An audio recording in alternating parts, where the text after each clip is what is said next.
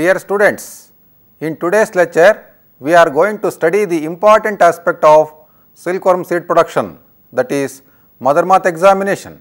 The basic principle in devising methodologies to combat any epizootic is to establish a thorough knowledge on the natural occurrence, transmission and impact of a disease, be it a plant disease or an insect disease. This is possible only with serious efforts in closely monitoring the prevalence of disease in cropping areas.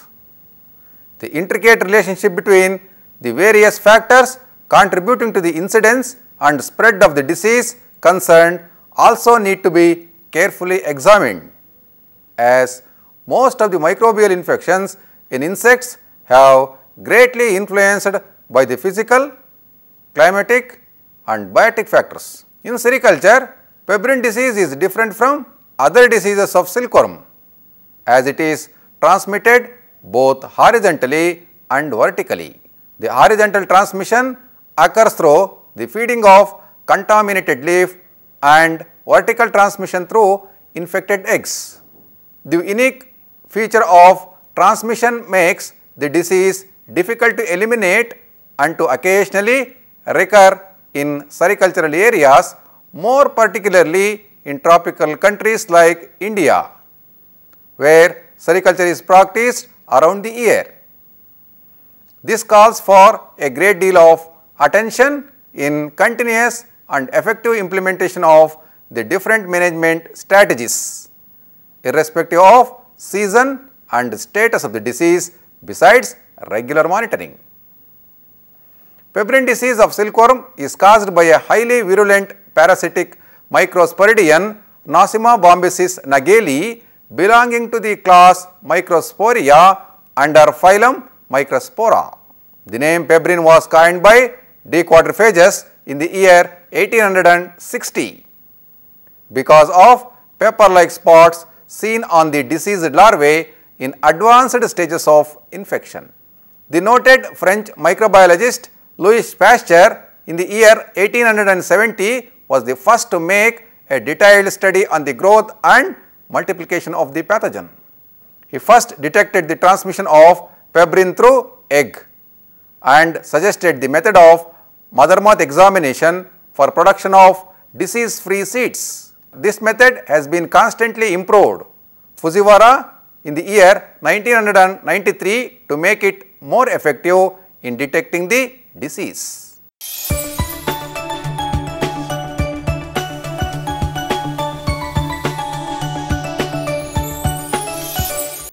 The success of commercial sericulture depends upon the quality and pebrine free seed cocoon production in seed areas.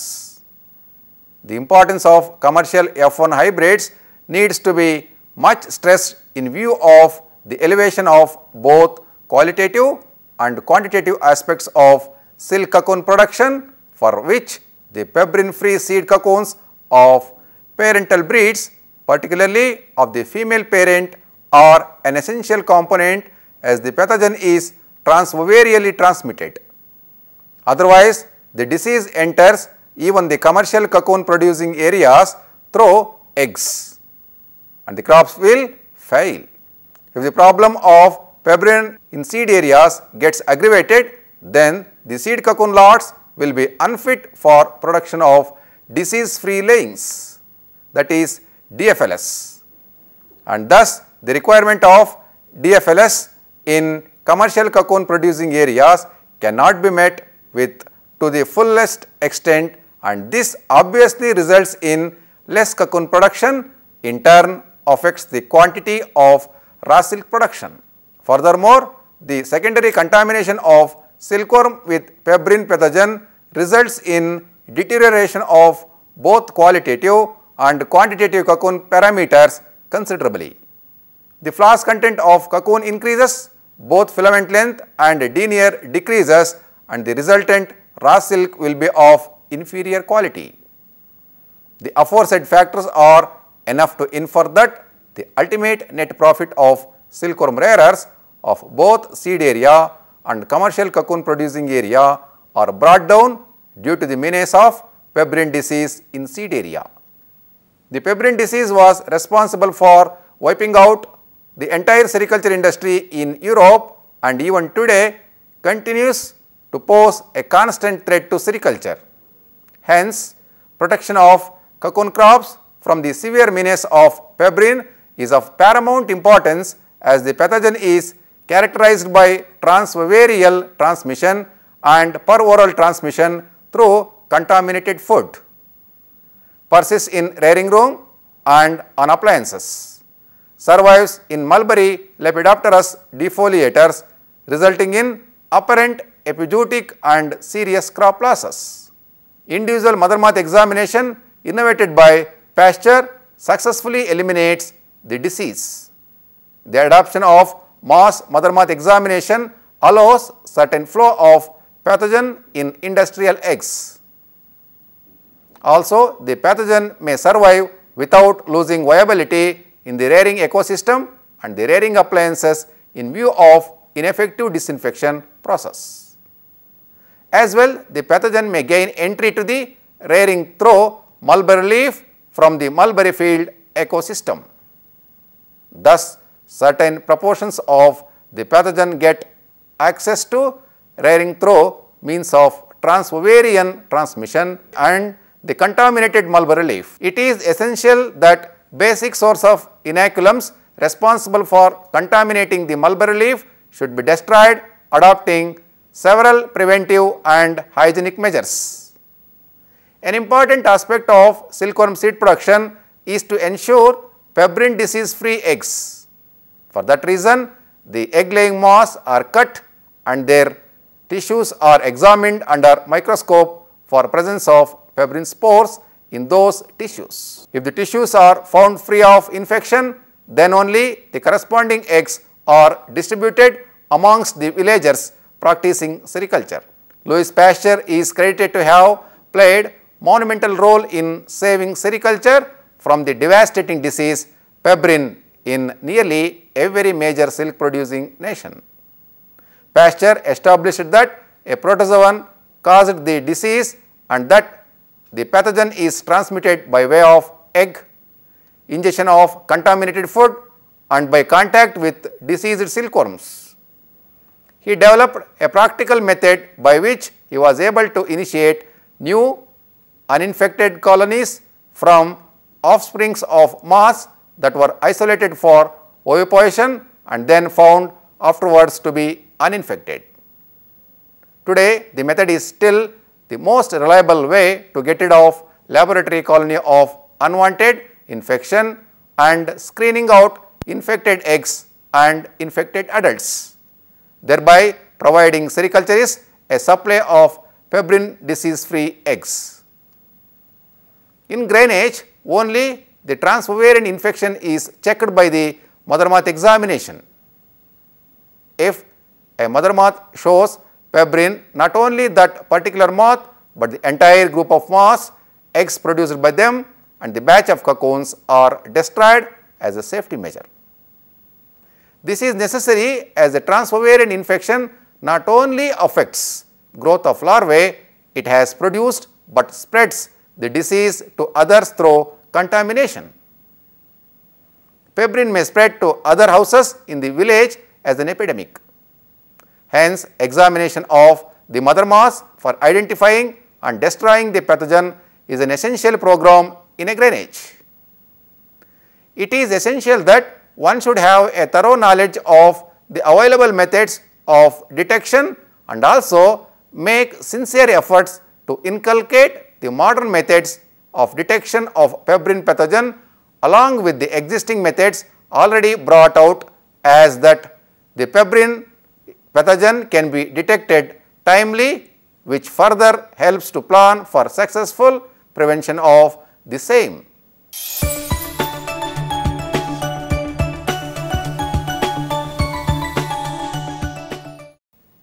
Number 1 individual mother moth examination. Number 2 sample testing of mother moths. Number 3 mass examination of mother moths. Number 4 delayed mother moth examination. Number 5 improved method of mother moth examination. Number 6 new method of mother moth examination. Let us study all these methods in detail. Individual mother moth examination is ideal and foolproof to check the pebrine spores in moths. In this case, the moths are individually numbered squares and the egg sheet are considered. Individual moth is taken from the egg sheet and crushed using moth crushing set. The moth crushing set consists of 10 to 12 cavities that is mortar and pestles. Each moth is crushed by hand. A drop of potassium hydroxide solution is added to the crushed fluid. A drop of crushed fluid is taken on a glass slide, a cover slip is placed over the drop of fluid and a smear is prepared. This is observed under a microscope with 600 magnification. Even if one moth out of 10 to 15,000 moths of a batch of cocoons show pebrine, the entire lot is rejected. Individual moth examination is very laborious method. A moth examiner can examine about 200 smears a day of 8 hours. This method cannot be practiced in big commercial grainages of Karnataka and West Bengal due to the shortage of time between egg laying and disposal. This method is generally followed in Jammu and Kashmir and Dehradun where bivoltine hibernated eggs are produced. In these areas, moth examination can be conducted at leisure. In this method, about 20 percent of the emerged moths picked at random are examined. 4 moths picked at randomly in an egg sheet of 20 which forms 20 percent are examined for pebrine. In this case, instead of crushing individual moths, two moths are crushed together. A drop of fluid is taken on the glass slide covered with cover slip and is examined under the microscope. Even if any moths show pebrine, the entire lot of cocoons and moths are rejected. This method is generally in vogue in India. Individual moth examination is not practical in commercial seed production centers due to laborious nature, time consumption and economic consideration. To overcome these problems, the group moth examination is generally resorted. It is efficient, simple and adaptable for examination of moths in large number.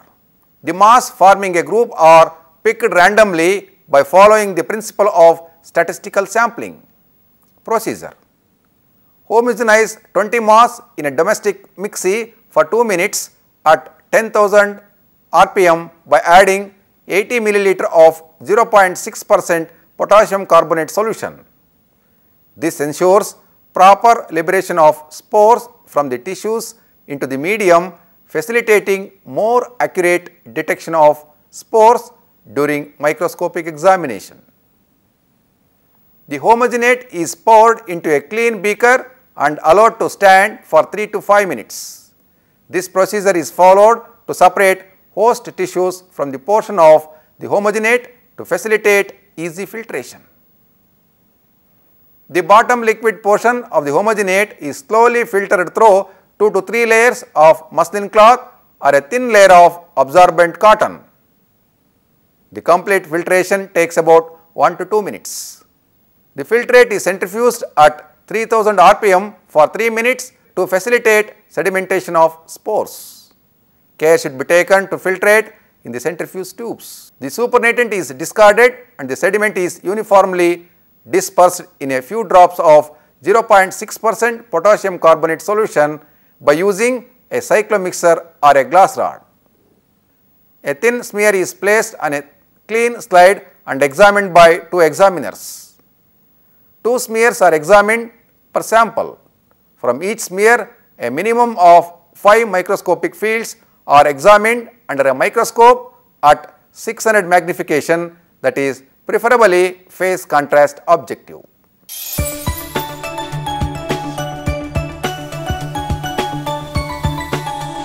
An improved procedure of delayed mother moth test is advocated for more accurate detection of the pebrine disease. Procedure Collect the mass after oviposition in groups in perforated cardboard boxes or covers. Alternatively, they can be left on dummy sheets in the oviposition tray itself. Care should be taken not to press them, which may result in mortality of moss. The collected moss in the boxes or oviposition trays that is properly numbered as per the egg sheets are preserved in a well ventilated room at ambient room temperature that is 25 to 30 degree centigrade for a period of 3 to 4 days. Moth testing should be conducted after the stipulated period as per the recommended procedure of mother moth examination. For the examination of mother moths, the standard method of Fujiwara 1984 was followed. The eggs laid by the apparently healthy pebrine free mother moths were used for the production of nucleus that is P1 and reproductive that is P2 seed.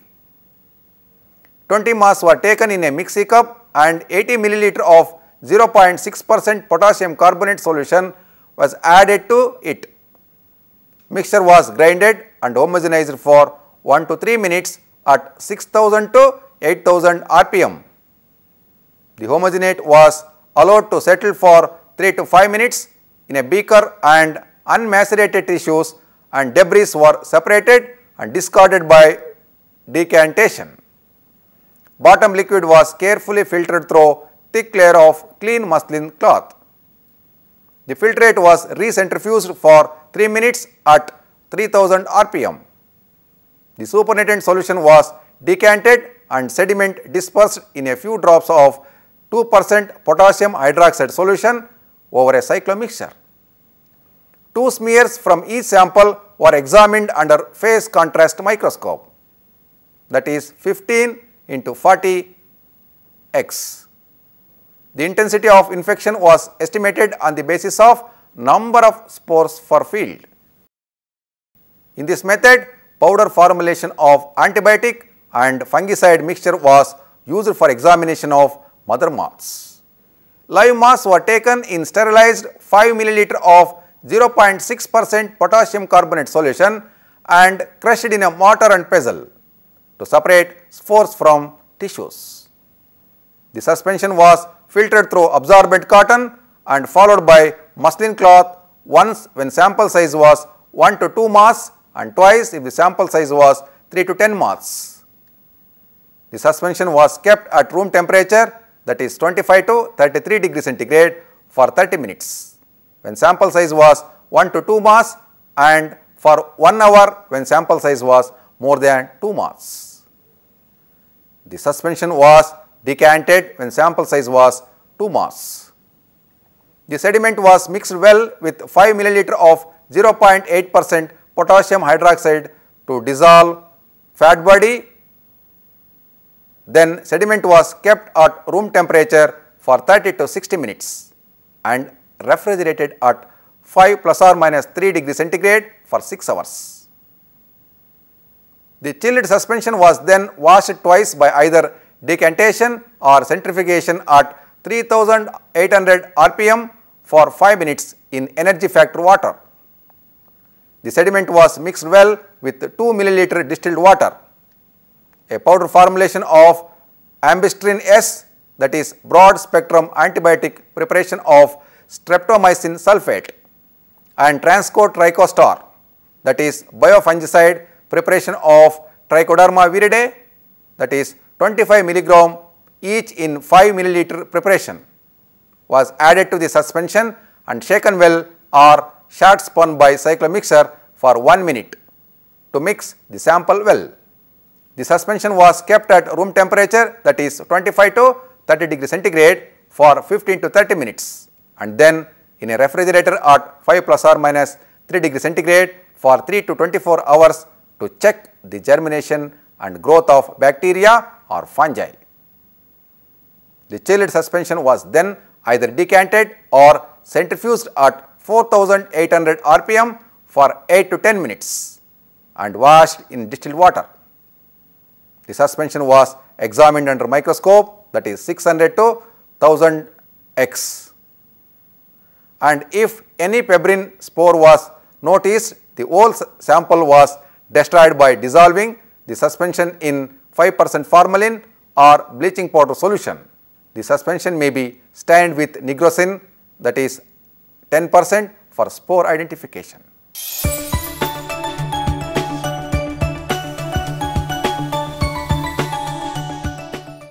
Pebrine infection is determined by the examination of spores. Immature spores which are either long or thin as pear shaped with varying sizes and shapes appear together with the normal mature spores. Presence of pebrine spores is essentially confirmed by observing a mixture of all in which normal spores appear as oval shining bodies. Mature spores of Nosema bombycis are colorless, oval, transparent and have a destained spore wall and measure approximately 3 to 4 microns. They are more uniform and have a streaky line stretching to nearly 3 fourth of the length of the spore which is structurally called the polar filament. Disposal or disinfection of materials used in moth examination.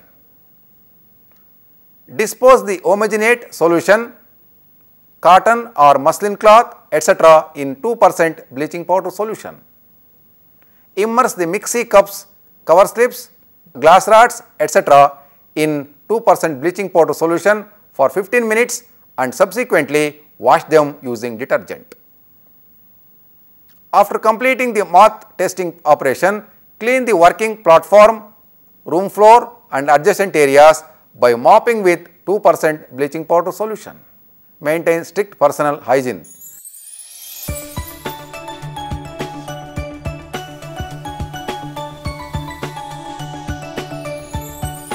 After examination of mother moths, multivoltine hybrid DFLS is checked for poor layings. Poor layings are those where the number of eggs in the laying are much less than the standard or norms fixed for a DFL. These are scraped and removed. Only sheets with standard laying after removing the poor and dead layings are soaked in formalin solution that is 2 percent for nearly 20 minutes. This helps in surface sterilization of eggs and helps the eggs free from pebrine infection. They are again washed in water and allowed to dry and accounted. The certificate of disease freeness of seed is affixed. The egg sheets carry the name of the grainage, hybrid combination, date of egg laying, signature of the moth examiner and the number of good DFLS on the sheet. These eggs are now ready for sale to farmers. In case of bivoltine, the eggs generally undergo hibernation within 48 hours of egg laying. Hence, the bivoltine moths are allowed to lay eggs on thick sheets which can withstand acid treatment. The moths are examined and acid treated within 20 hours. To break diapause, they are treated with hydrochloric acid having specific gravity of 1.075 at 15 degree centigrade temperature, heated to 46.1 degree centigrade and dipped for 5 to 6 minutes depending on the bivoltine breed.